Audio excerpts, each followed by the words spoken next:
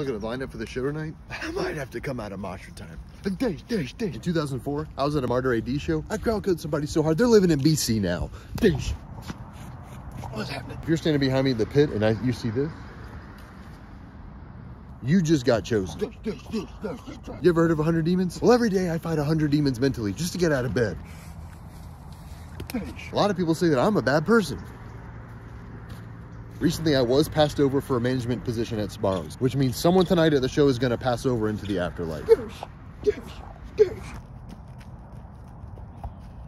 Recently, I've been spending 8 to 10 hours a day on conspiracy forums. Honestly, I'm on the cusp of being red pilled. One time at a Bleeding Through show, I was moshing so hard, a woman came up to me and she was like, you're hot, dad. And that didn't happen, but it could one day. And honestly, that's the only thing that's keeping me going. you see me doing this for the first four bands, I'm doling out dirt naps for the entire headliner. In 2002, I saw Integrity open with vocal test. And ever since then, it's been stuck in my head. From the moment I wake up to the moment I go to bed, it's just...